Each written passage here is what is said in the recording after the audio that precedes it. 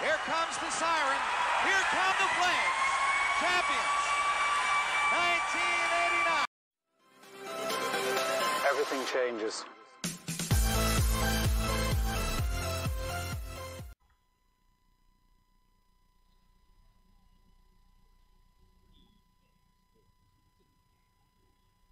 And yes, welcome to the channel. This is Mork or Mork, whatever you know me as, and as you can tell, it is NHL 19.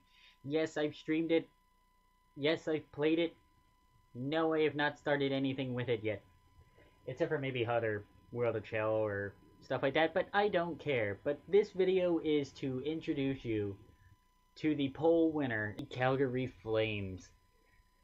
So, let's begin our dynasty. Uh, let's go normal classic.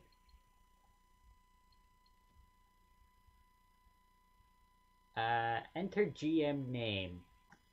Ladies and gentlemen, when looking for a GM name, I tried to go with Lanny McDonald, but there's only 12 characters, and it looks weird if it's not the full name. So, congratulations, Chris Snow, the Director of Hockey Analysts. Analysis, sorry. You are promoted to GM. I will show a picture of him on the uh, screen right now. Honestly, I thought he was the coolest one, coolest looking one when looking in like the staff directory and stuff like that. So let's get started with the uh, Calgary Flames. Calgary Flame budget of 83 million. I can work with that. Um, plays at the Scotiabank Saddledome, obviously. Um, yeah. So it's, I'm not gonna do any of that. So we're just going to continue to the franchise mode, NGM mode. Here's where the fun part comes in. And we can't be fired, but if you want to see like a Twitch stream series or something like that, where we take over, let's just say the Buffalo Sabres, who came in second in the vote, just let me know that. Mainly due to the fact that it's new, or brought back. Uh, rules and settings. I mean, you know what we could do? Let's see what we can do with the Flames in 10 years at most. Good, retired jerseys will be on. So we can't use like uh, let's just say if they retired Lanny's number nine or whatever. So welcome to the Calgary Flames. And here we are, new to franchise mode. Welcome to franchise mode. Our, our new scouting system, all new, allows for more control than ever before. Recruit, hire, and fire a staff of pro and amateur scouts for your franchise. Okay, cool. You can entry fire the scouts. Scout individual players to reveal attributes and other information to build the best organization organization in the NHL. Scouting accuracy. Basically, scouting accurate to unknown, obviously. The more times you scout a player, the uh, increase in brightness and fill more bars. Basically, if it is completely dull, they we don't know anything about them. If it's completely bright, we know everything about them. Any, that's basically that. The fog of war. This is where it comes interesting. Fog of war masks the player's ratings, attributes, and other information. You will no longer have accurate information at all times. I like that. You need to assign scouts to evaluate players and teams throughout the season to maintain the most up-to-date information. Fog of War affects trading contract negotiations and evaluating your players. You know what it takes to be a real GM in the NHL. Alright, here we have the the hub. Obviously Stockton Heat and all that stuff. So, let's just take a look at the team. Look, take a look at the lines. Okay, this is exactly how I would hope it be set up. So we have Gaudreau, Monahan, and my guy Tkachuk, the three. You know what? I'm gonna make this. I'm just gonna say this right off the bat. The three people on the cover, on the thumbnail, are the three people that I don't want to lose at all, period, during this franchise. Gaudreau, Monahan, and Tkachuk. Everybody else, honestly, trade bait. Unless we see a good prospect or anything like that, like Sam Bennett or whatever. So, looking at the lines, we have Gaudreau, Monahan, and James the Real Deal Neal. I'm sorry, Louis. The second line, Matty Tkachuk, Michael Backlund, and Elias Lindholm, who they got in a trade. Um, got in a trade in the offseason from the Carolina Hurricanes. And we'll see who they acquired as well in the later dates. Curtis Lazar. Here's my theory with him. I like him. I want to know see, what's pretty cool, I just noticed this. You can actually do preseason stats, which is awesome. You can see like past season stats and all that stuff. I like Curtis Lazar. He's not in the thumbnail, but I want to see him grow. I want to see him be the man. So we have Curtis Lazar, or as I would call him, Laser. Mark Jankowski, 24 years old, shoots left. Potential of a top six forward. Not too bad. Michael Frolik. Oh boy. This guy. He hasn't put up a produ- he hasn't put the production up, but I still kind of like him. Garnet Hathaway. He hasn't put. Pro- oh, that was in the AHL. Never mind. Did well in the AHL, kind of eh, in the NHL. We so we have Garnet Hathaway. We have Sam Bennett. Now, if I hate how most of my guys are becoming top six forwards, like, like a lot of potential are top six forwards because top six is obviously the first two lines, and I've already taken three of them. Like Matty Tkachuk is medium elite. Gaudreau medium elite, even though technically franchise. Sean Monahan medium elite. So we have Hathaway, we have Bennett, and we have Troy Brouwer, the aging veteran. Ay, ay, ay. Does pretty well in the playoffs, I guess. Season wise, he's like 30 to 40 points if he's healthy. So he's not too bad. Uh, perfect. Defense. Mark Giordano, and if you played this game before, All Star game age 31. He's one of the guys I'm looking to trade immediately. I want him off of this squad. He'd be gone, and the other guy they got in that Carolina trade was Noah Hanifin. I really like the look of this guy because he's medium elite. Second line, TJ Brodie and Travis Hamonic. I'm fine with that second defensive pairing. Third, Brent Ku- or Brett Kulak, top six medium defenseman. Eh, and Michael Stone. If I could get Mark Stone to, ooh, Mark Stone and Michael Stone. Ooh, that might be interesting. Okay, so there's that. Any scratch guys? Alan Quine, eh. Derek Ryan, eh. And Cesarnik. I love you. You were Boston. And then goalies. We have the aging Mike Smith. This, I think, is going to be problem area number one past the first season. He's 36. Most goalies won't make it that far, period. And if he starts as an 86 at 36 years old, he's going to drop to. Oh, what would I. What would he be dropped to? I think he'd be dropped to like around 82, 83 around the first. Um. Uh, first season. And then we have John Gillies. I don't think he'd be a bad goalie. Medium starter. I don't think he'd be a bad guy. He did well in AHL last year, but I don't have faith in him. And our AHL goalies, our backup is Tyler Parsons, who I'm completely fine with. Fringe starter potential. And David Rittich, medium backup. I problem area number one is going to be the goalie because of Mike Smith being old. Problem area number two, we have an aging right wing. Everything else they're in their prime. James Neal can stay for the first season or two, maybe, depending on how much he drops off. Frolik and Brouwer, I need young. I need young guys for that. Speaking of young guys, here's the AHL. Morgan Klimchuk. I do like the look of this guy. But, problem is, he's a left winger. I could easily use him on the right, but still. Left wingers, I already have four pretty decent left wingers. And then he'd be at most fifth right now. Tyler Grajovic. It looks like he used to be on the Wild. Sorry, Courtney. Bottom six low. He's not going to do anything. He's like an AHL permanent guy. Andrew. Auddie, if you can help me out with any of these names, that'd be appreciated. Andrew Mangiapane. Mangiapane? Mangiapane? Eh. Top nine medium. He doesn't look like he's going to be too bad. Hunter Shinkaruk. I like the look of this guy before, but he's just dropped.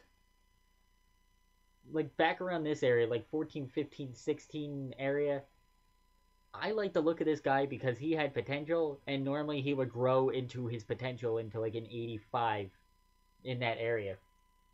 I would love to see him grow again. I just don't think it's going to happen. I could be wrong. Matthew Phillips. AHL top six forward. I don't think he's going to do anything. Here's a name for you. Spencer Foo. Top nine low forward. Eh, not really uh, expecting much out of him. Yasin Ehliz. Where he's German. Yasin Ehliz. AHL top six. AHL guide. Brett Pollock, 22 years old, center, AHL top six medium. I don't think he's going to do much. Buddy Robinson, I'm assuming he was on the Jets. 26 years old, bottom six medium. So he could have a potential to grow.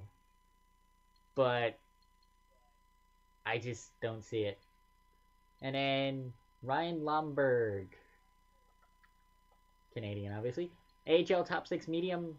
He'll just be an AHL guy. Rod Pelley, 34 years old. He's aging. Just and Luke Adzik. Pardon me again. That is the enforce. I don't want to say enforcer. Yeah, he is enforcer. Holy crap. He is enforcer. Oh my god. Um, I knew he was an enforcer, but I didn't think they would actually list him as an enforcer because there's very few and far between. Anywho. Defense. Dalton Prout. He's like a scratcher.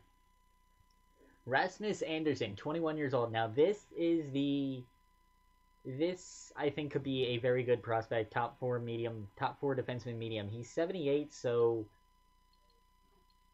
Say we trade away Giordano or whatever. And maybe. Maybe Kulak doesn't do well that's where Rasmus Andersson, I believe, he could fit in well. Colby Robak, 72 overall, AHL top two. He's just an AHL guy, not concerned. Oliver Kylington, top 60 medium. He possibly could grow into something. Juuso Välimäki, top four defensive me, uh, top four D medium. He could grow into something. And oh boy, Adam Ollas Mattsson. Just a scratcher. And Glenn Gawdin, not AHL top six. Mike McCurdy, AHL bottom six, nothing important. Nick Schneider, backup, well, extremely backup goalie, AHL starter, medium, eh.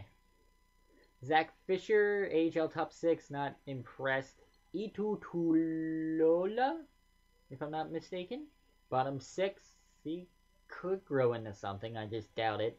Linus Lindstrom, AHL top six. I thought I liked him from previous years because he was a grower, but I could be wrong.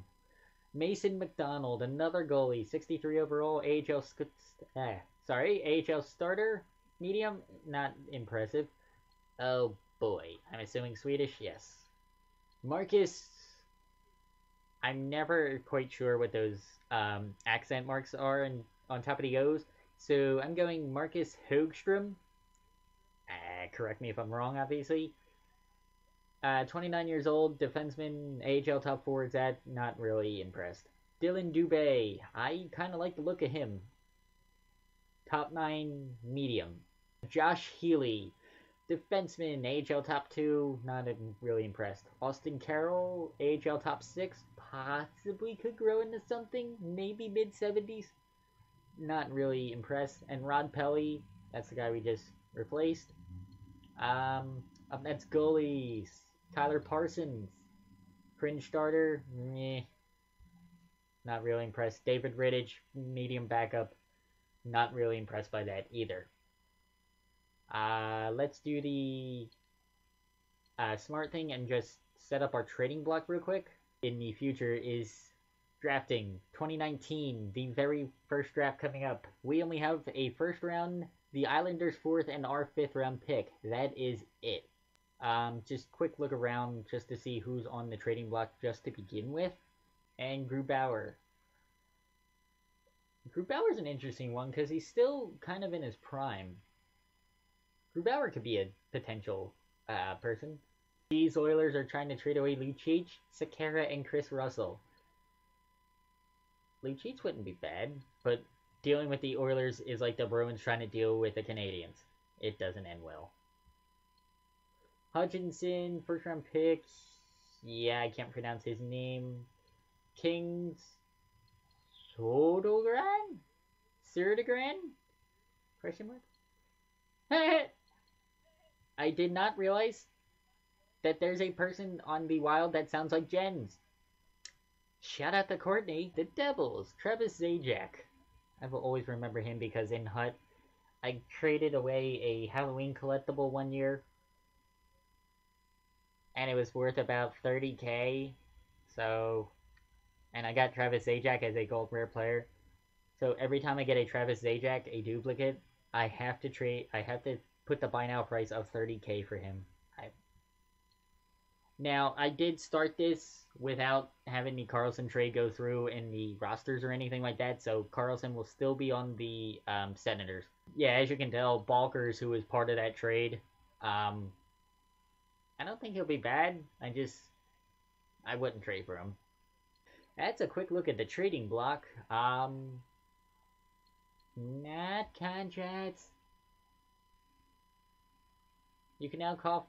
Ooh, you can now offer contract extensions to players during the course of the season. I'm glad I went on this uh, screen. Players that are currently one year remaining are eligible for a contract extension. Players wanting an extension. People who. Ah, okay, that makes sense now. Like you can see, Matty Tkachuk wants an extension. And I will give him the money for an extension. Uh, Lazar, yes. Sam Bennett, yes. Uh, goalies. Mike Smith does not want an extension. Really? That puts a good that could that puts a good uh, good twist to this. Taking a look at the free agents, just checking them out. Kari Lehtonen, Mason, Pavlik. Basically nothing really jumping out and saying, "Hey, you should pick me up." Skaters. Lucas Abiza is on the uh, free agents. That wouldn't be too bad. Um, Letestu, Winnik. I could bring, I'll be honest, I could bring Iginla back. Whether it be for an AHL or whatever. Chris Stewart's still on the free agent list. Good job, Minnesota. Do I bring back Iggy? Let me know down in the comments. I think that'll do it for this. This is basically just the introduction and team introduction, all that fun stuff. In the next one, I think uh, if I can go to the schedule calendar, yes, thank you. We'll do um, we'll do the preseason games. Uh, yes, we'll do we'll simulate the preseason games and figure out where to go from there. So, if, let me know any uh, signings. Like, do you want me to sign Iggy or anything like that? Do you have any trade ideas? I'm gonna have you guys be my assistant GMs per se. I am Chris Snow. I am now the not the director of hockey analysis, but I am the GM now.